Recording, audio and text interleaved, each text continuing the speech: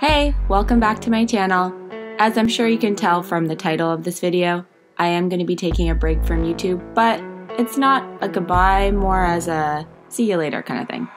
I really enjoy conceptualizing these videos and I don't plan on stopping forever, but I do need to take a break. However, there are a couple videos I do have planned and I'd love to upload them still, so we'll see if I upload them here or on any of my other social medias.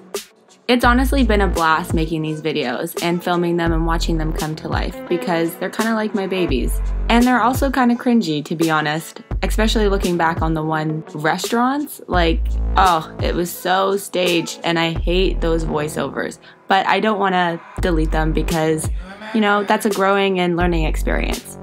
In this video, you will see a couple clips that I've never shown anyone before or included in my bloopers because I found them and I thought they were kind of funny.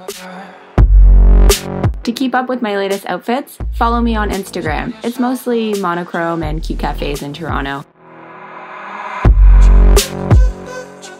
I'm so thankful for YouTube for letting me find people like The Lineup and To The Nines. They inspired me to honestly start my channel, and all their videos are so cinematic and beautifully done that I just keep wanting to make videos, but I need to focus on a couple other things first. You know, priorities. But I'll keep being inspired by them and a lot of other YouTubers. Oh, and I'll leave their links below so you can be inspired by them too. One of the reasons why I love fashion so much is it's always changing and you can always reinvent yourself every day with your outfit.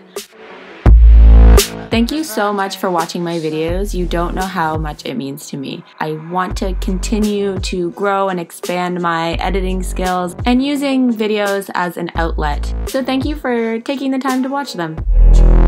I'm really thankful that I started these videos in high school because I always have the opportunity to look back and appreciate everything I've been through and learned from. Again, thank you so, so much for subscribing to my channel and watching all my videos.